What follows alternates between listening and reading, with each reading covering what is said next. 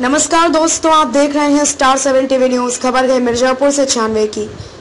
जिगना थाना परिसर में आज थाना अध्यक्ष श्रीवास्तव जी के द्वारा एक बैठक आहूत की गई, जिसमें सभी गाँवों से रामलीला समिति के सभी अध्यक्षों को बुलाया गया।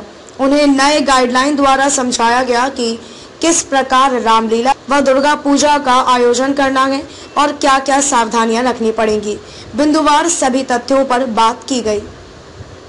स्टार सेवन टीवी न्यूज़ की कवरेज दिनेश कुमार पाठक की रिपोर्ट।